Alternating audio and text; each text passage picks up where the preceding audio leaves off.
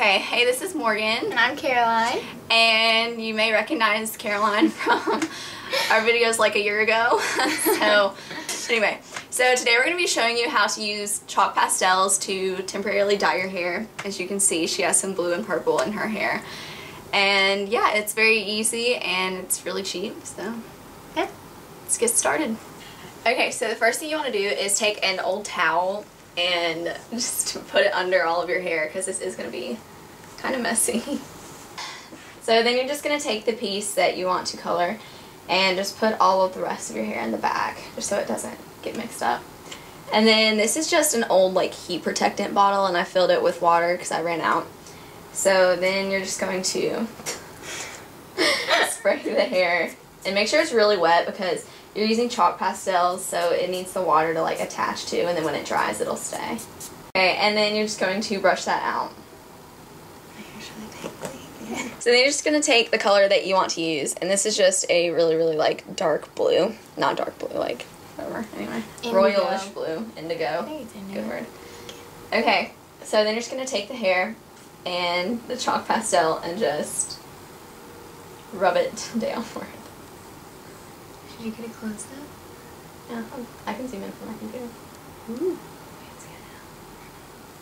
Do I like brush it out later? I mean, can I brush my hair once it dries? Um, well, when it, once it dries you can, but like when it's still wet, if you brush it, it's gonna like make the color come out. Okay. And next we're just using this purple color on the other side.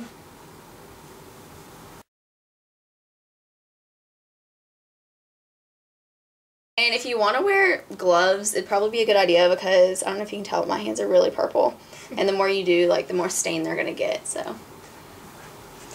Okay, and if you want to use a blow dryer to dry it, like right now when it's still wet, you can, but the color's kind of going to fade a little bit, as I found out the other day when I did that. So we're just going to let it air dry some so that the color will stay more. Okay, so we just let it air dry, and then we kind of, like, scrunched it a little bit to make it wavy. And so I'm going to zoom in so you can see it. So there's some of the purple. Right here's some of the blue. Here's my bowl. So it looks really good and you can do as much or as little as you want to and when you wash it the next time it will all wash out. And I did a section of pink but you can't really see it because it's like a really light pink. So anyway that kind of failed but... The um, red colors stay longer than the other colors. Yeah, because I did pink in my hair the other day and wore it to school, and I inserted some pictures of that because you can see it a lot better. But um, it's still kind of in my hair a little bit, so if you use like a red tone color, it might not wash out completely the first time, but the rest of it should. So this is a really cheap and cute alternative to just like permanently dyeing your hair using expensive stuff that's gonna make it temporary.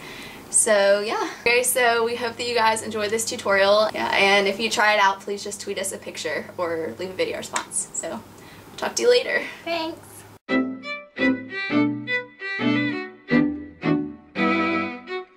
I'm fat. Ah. I was thinking when you said chalk, I thought you meant sticks of chalk that you play outside with. No. chalk pastels. I, I don't know what anything's called. Um, a lot of you guys still ask where she is because you're not very with it. But anyway, she's back.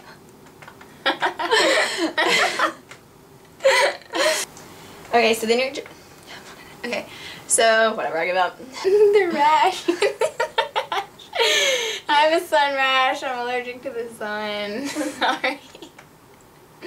No one would even notice. Okay. They you just you just look on the computer, you're gonna see dark splotches all over my chest. It's red. You bet it is. Probably gonna start. Oh no, I don't want it to stay. Okay. Choose purple. Alright. Whew, close one. I should do my whole head black. Um, or not.